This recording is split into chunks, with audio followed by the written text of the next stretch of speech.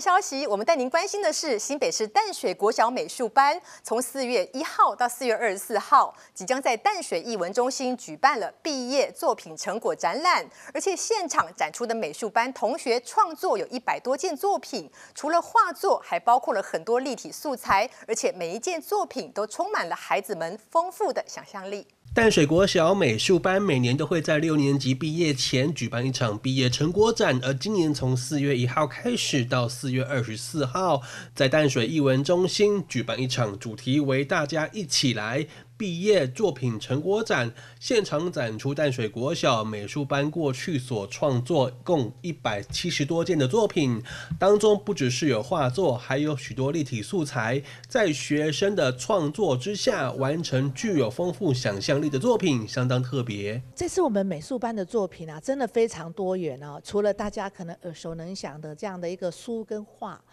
那么其实还有很多一个呃立体的一个呃装置的一个艺术哦，那真的非常多元，也真的谢谢我们美术班的团队，然后带着我们孩子啊哈，用手做，然后去创作这样的一个作品，那欢迎大家一起来看这样的一个作品。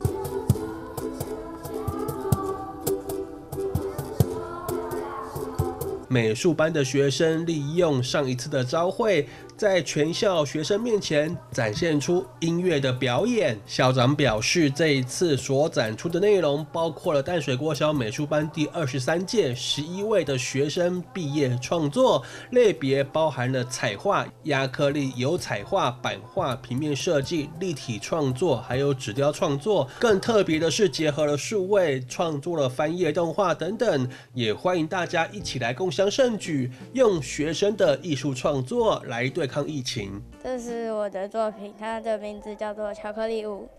因为我一开始想说用咖啡色的颜色涂上去，结果变成涂完之后变成看起来有点像巧克力。这一张是一开始刚上美术班的时候画的，这代表呃我在学校的样子跟平常生活中的样子。这一张是现在画的。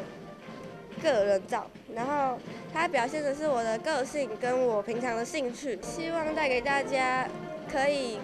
读美术班，让美术班有更多的人可以参加。就是平常的生活压力有点大，因此就想要用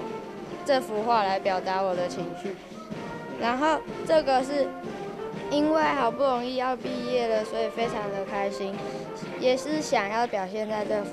后面的背景会是深色，是因为为了要衬托前面的亮色。校长表示，淡水国小美术班伸展孩子的艺术领域触角，培育美感素养，从中建立自信与探索自我潜能为目标。在课程设计上面，除了基本的视觉艺术以及立体创作之外，也特别强调材质还有体验肢体开发。这一次在展览当中，可以看到孩子的绘画作品，天马行空的想象，也可可以看到孩子以多媒材来尝试建构立体作品，也欢。迎大家一起来探索孩子的艺术世界。记者许多恩一带学采访报道。